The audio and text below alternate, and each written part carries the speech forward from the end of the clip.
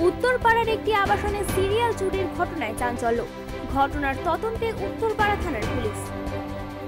গতকাল রাতে উত্তরপাড়া স্টেশন সংলগ্ন ভার্মা কমপ্লেক্সে পর পর সাতটি ফ্ল্যাটে চুরি হয়।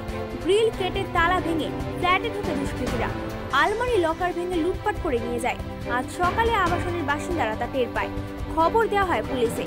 যে সাতটি ফ্ল্যাটে চুরি হয়, তাতে কেউ ছিলেন না। কেউ চিকিৎসা করাতে, কেউ বা দেশের বাড়ি গিয়েছিলেন। গতকাল আবাসনে একটি বিয়ের অনুষ্ঠানও ছিল। সেই সুযোগে ফ্ল্যাটে ঢুকে লুটপাট চালানো হয় বলে অনুমান পুলিশের। বাসিন্দারা জানিয়েছেন, গত কয়েকদিন ধরে আবাসন চত্বরে বহিরাগতদের আনাগোনা চোখে পড়ে। এত বড় আবাসন, যেখানে প্রায় ছশো ফ্ল্যাট রয়েছে, সেখানে কোনো সিসি ক্যামেরা নেই। আবাসনের বাসিন্দা অনিন্দিতা বসু বলেন, চারজন নিরাপত্তা রক্ষী রয়েছে। তারা কি করছিল সেটাও দেখতে হবে। ফ্ল্যাট যে ফাঁকা আছে, সেই খবর ছিল। তাই এই ঘটনা ঘটেছে। এক বাসিন্দা জানান, ভোর সাড়ে তিনটে নাগাদ জল খেতে উঠে পাশের ফ্ল্যাটের সামনে দুজনকে দাঁড়িয়ে থাকতে দেখেন তাদের হাতে ছিল লোহার রড। ঘটনায় নিরাপত্তাহীনতায় আবাসনের বাসিন্দারা।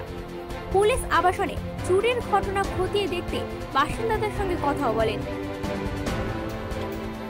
গার্ড রাখা আছে আর তার জন্য আমরা আমরা মান্থলি টাকা দিই। সিকিউরিটি গার্ড প্রায় তিন চারজন রাত্রের মধ্যে পাহারা দেয়।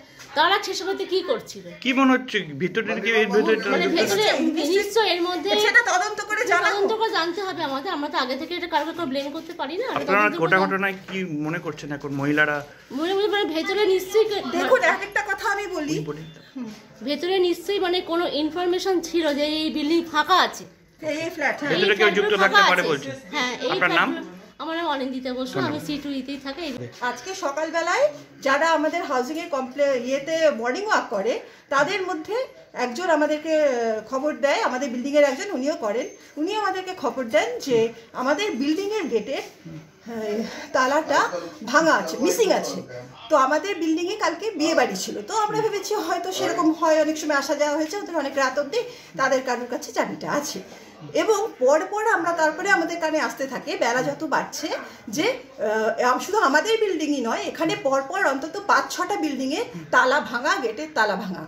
তার কিছুক্ষণ পরে আমরা এটাও জানতে পারি যে আমাদের শুধু তা- গেটের তলাই ভাঙা না যেসব ফ্ল্যাটগুলো ফাঁকা আছে সেই ফ্ল্যাটগুলোর প্রত্যেকটারই দরজা ভাঙা এবং আলমারি ভাঙে ভেঙে লকার ভেঙে প্রচুর চুরি হয়ে গেছে। আমরা জানি না সেটা এখন আহ, পুলিশ বার করবে তদন্ত করে জানতে হবে এবং আমরা এখানে এতদিন অবধি আমাদের এসব জিনিস কিছু ছিল না।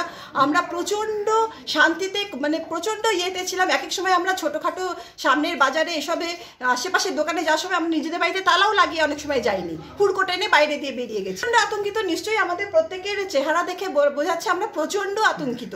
এবং এই যেহেতু মানে আমাদের অনেকেরই এরকম আছে যে দুটো তিনটে করে বিল্ডিং আছে ফ্ল্যাট সরি কিন্তু এত বড় আবাসনের প্রশ্ন উঠছে সিসিটিভি ক্যামেরা কেন নেই? সিসিটিভি ক্যামেরা নেই এটা একটা সত্যি আমাদের আমাদের অনেকবারই বলা হয়েছে এই নিয়ে কথা কিন্তু আমাদের এরকম ভাবে হয়নি। কিন্তু এতদিন অবধি আমাদের এরকম ধরনের চুরি হয়ওনি কি চাইছেন এখন হয়নি। আপনারা? নিশ্চয়ই সেটা তদন্ত হোক এবং সঠিক তদন্ত হোক এবং আহ, যেন এরকম ঘটনা আর না হয় বাড়িতে চুরি অভিযোগ হয় কটি বাড়িতে অভিযোগ। সেটা এখনও পর্যন্ত জানতে পারছি না যত বেলা বাড়ছে তত শুনতে পাচ্ছি। নাম?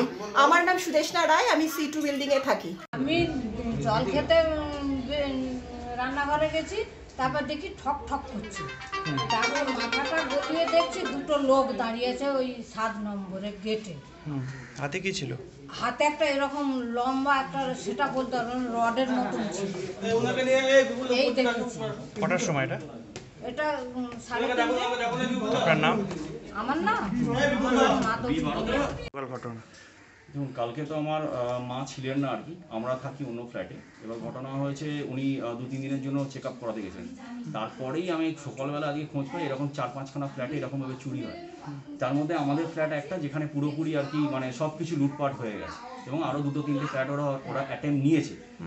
এবার ঘটনা হচ্ছে, এখন আবাসনকেও আমরা জানিয়েছি ব্যাপারটা এবং কি করছে আমরা জানি না। এবং মোটামুটি আমরা খুব আতঙ্কে আছি এবং আবার কি হবে কি হবে না, সেটা একটা কিন্তু মানে- প্রশ্ন হচ্ছে এত বড় আবাসনী সিসি ক্যামেরা কেন নেই? সিসি সিসি ক্যামেরা অনেক দিনই আমাদের বলা হয়েছে যার জন্য আমাদের সার্ভিস চার্জ সব কিছুই কাটা হয়। বাট আজ পর্যন্ত ওরা কোনো রকম ব্যবস্থা বা কিছু নেওয়া হয়নি। আমরা দেখেছি পরপর ফ্ল্যাটে চুরি হয়েছে যে কটা ফাঁকা ছিল সে কটা ফ্ল্যাটে কি চুরি হয়েছে। হ্যাঁ, আমি ঠিক এটা ইনফরমেশন দিতে পারব না এতটা বাট আমার ফ্ল্যাটে মানে আমাদের বিল্ডিংয়ে তিনটে আহ, আহ, আমার ফ্ল্যাট এবং ওপরে চারতলা ফ্ল্যাট দুটো ফ্ল্যাটই ভ্যাকেট আপাতত। আমাদের ফ্ল্যাটটা টেম্পোরারি ভ্যাকেন্ট বলতে পারেন। Okay. কারণ মা দু তিন দিনের জন্য আর কি চেক আপের জন্য গেছিলেন। কত টাকা কি কি জিনিস লুটপাট হয়েছে? মোটামুটি প্রায় সত্তর আশি হাজারের কাছাকাছি। সত্তর আশি হাজারের কাছাকাছি টাকা ছিল। কি চাইছেন এখন আপনারা আপনারা? চাইছি খুব তাড়াতাড়ি যেন কোনো ব্যবস্থা নেই পুলিশ তো এসেছে। হ্যাঁ পুলিশ এসেছে এবং তদন্ত শুরু করে। খুব দ্রুত এই কাজটা করে। ওকে আপনার নাম? আমার নাম শুভদীপ দাস। হুগলি থেকে পাপ্পু সাঁতরার রিপোর্ট টাইমস বাংলা।